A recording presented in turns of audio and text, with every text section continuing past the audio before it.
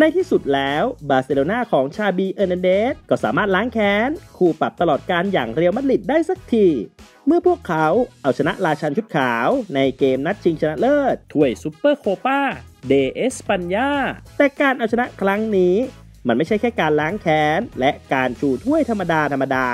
แต่มันยังมีรายละเอียดที่น่าชื่นชมของฝั่งบาร์ซ่า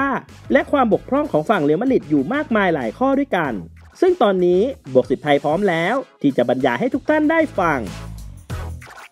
1. ชาบี้วางหมากมาดี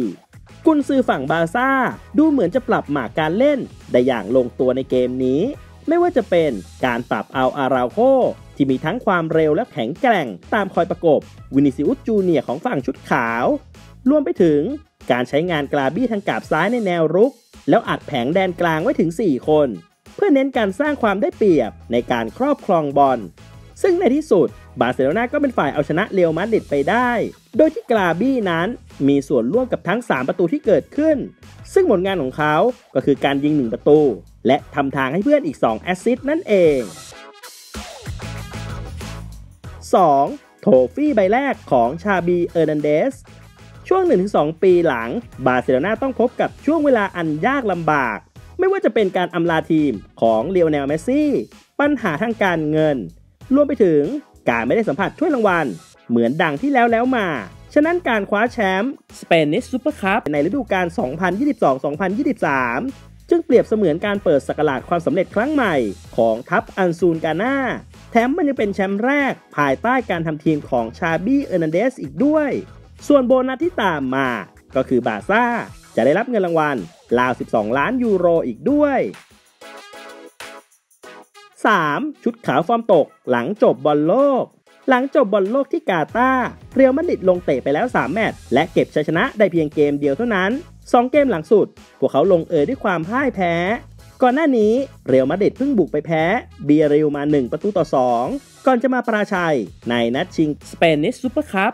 แต่ประเด็นที่ทำให้แฟนบอลชุดขาว ไม่ happy ยิ่งกว่า ก็คงจะเป็นฟอร์มการเล่น ที่ดูไม่มีอะไรเป็นชิ้นเป็นอัน คะแนนเฉลี่ยของผู้เล่นย่ำแย่ในทุกตัวคน ผลงานอันย่ำแย่ของมิลิเตากับดานี่การ์บาฆาลทำให้เรอัลมาดริดไม่อาจรับมือกับเกมรุกทางฝั่งซ้ายของบาร์เซโลนาได้เลย รวมถึงกามาวินกาที่ยืนในตำแหน่งมิดฟิลด์ตัวรับ ก็เล่นได้อย่างสะเปะสะปะ และไม่สามารถช่วยแบ่งเบาภาระในเกมรับของฝั่งราชันชุดขาวได้เลยเช่นกัน 4. บาร์ซ่าล้างอาย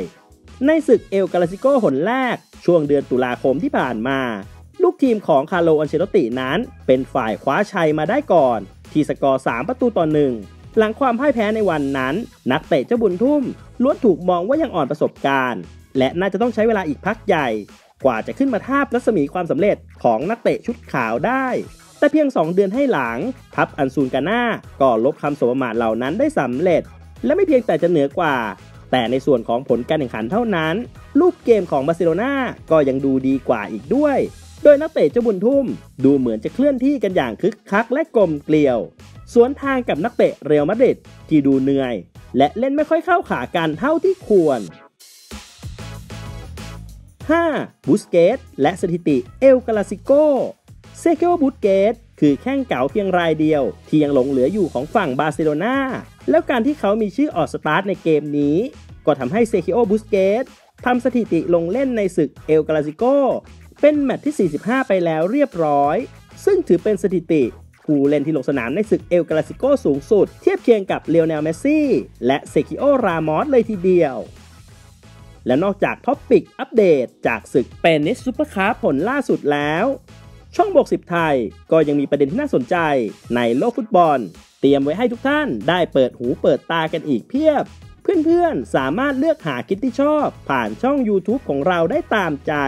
ช่วงท้ายนี้ก็ต้องขอขอบพระคุณทุกท่านสำหรับการติดตามรับชม ไว้เจอกันใหม่ คลิปหน้า